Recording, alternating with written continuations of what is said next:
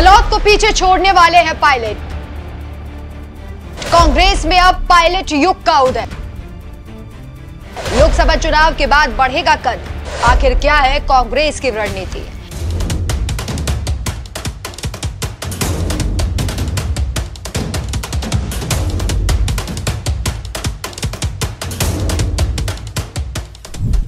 नमस्कार, मैं हूँ आपके साथ राखी लांबा और आप देख रहे हैं न्यूज़ एक्सप्रेस। राजस्थान की राजनीति इस वक्त चर्चा का विषय बनी हुई है। हर जगह सिर्फ़ राजाओं के स्थान, राजस्थान पर सभी की नज़रें हैं।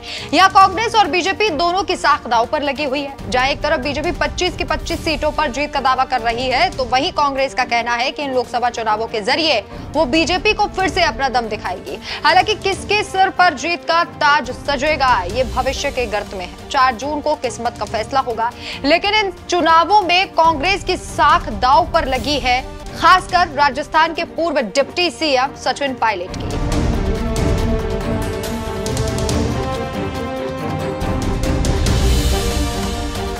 इस बार उनकी अग्नि परीक्षा है। कयास लगाए जा रहे हैं कि कांग्रेस राजस्थान की अगर इन छह लोकसभा सीटों पर मजबूती से दिखाई देगी और जीतेगी तो ऐसे में चर्चा शुरू है कि अगर इस चुनाव में इन सीटों पर सचिन पायलट की वजह से जीत हासिल हुई तो आने वाले समय में सचिन पायलट का कद कांग्रेस में और भी ज़्यादा बढ़ सकता है। यानी कि गहलोत से भी ज़्यादा पायलट की भूमिका मज़बूत हो सकती है। ये छह लोकसभा सीट कौन सी है?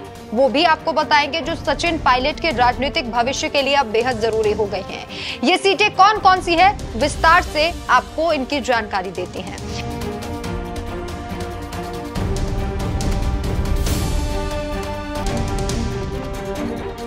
सबसे पहली सीट राजस्थान के झुंझुनू लोकसभा सीट। इस सीट को कांग्रेस के लिए काफ़ी मज़बूत माना जाता है। इस सीट को लेकर कांग्रेस दावा भी कर रही है कि झुंझुनू की सीट कांग्रेस पार्टी की झोली में जाएगी।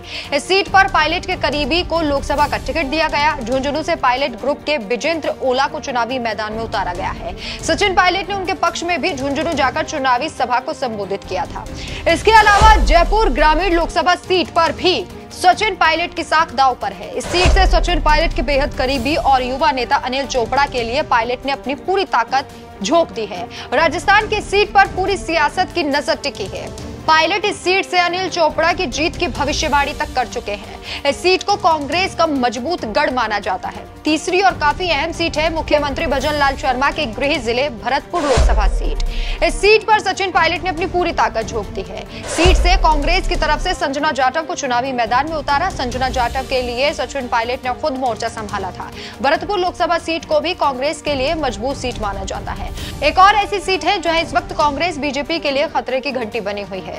धौलपुर करौली सीट भी कांग्रेस के लिए महत्वपूर्ण है। कांग्रेस ने भजन लाल जाटव को यहाँ से टिकट दिया। पायलट भजन लाल के लिए खूब प्रचार कर रहे हैं। इस सीट से कांग्रेस फ़िलहाल मज़बूत स्थिति में दिखाई दे रही है।